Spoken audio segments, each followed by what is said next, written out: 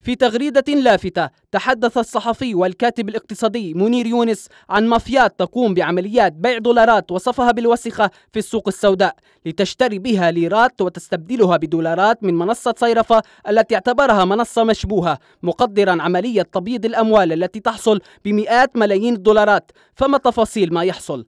تعليقا على ذلك أشارت أوساط مراقبة إلى أن لبنان يعيش اليوم فيما يسمى بالكاش إيكونومي وعادة ما يحصل عمليات تبييض أموال في نوع كهذا من الاقتصادات والهدف هو إدخال الأموال الوسخة إلى النظام المالي.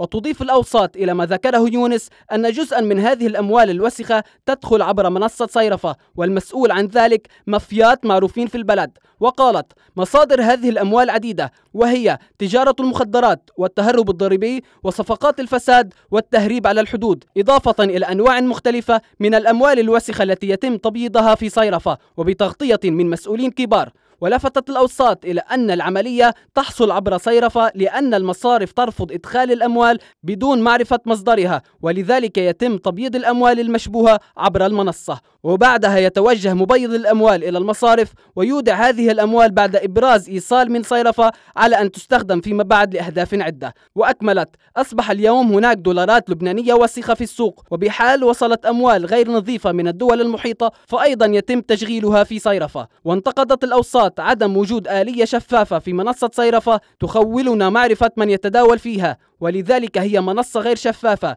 ويجب إدخال جميع المتورطين إلى السجن. وإذ توقعت الأوساط نهاية لعبة صيرفة خيرت اللبنانيين بين من يريد حكم القانون أو حكم المافيات. أما عن عمل صيرفة بعد رحيل الحاكم فرجحت الأوساط أن نواب الحاكم يريدون تشغيل المنصة عبر شركة عالمية معتبرة أنه إذا استمروا بصيرفة كما هي الآن فهذا يعني أن شيئا لم يتغير. ويجب محاسبتهم.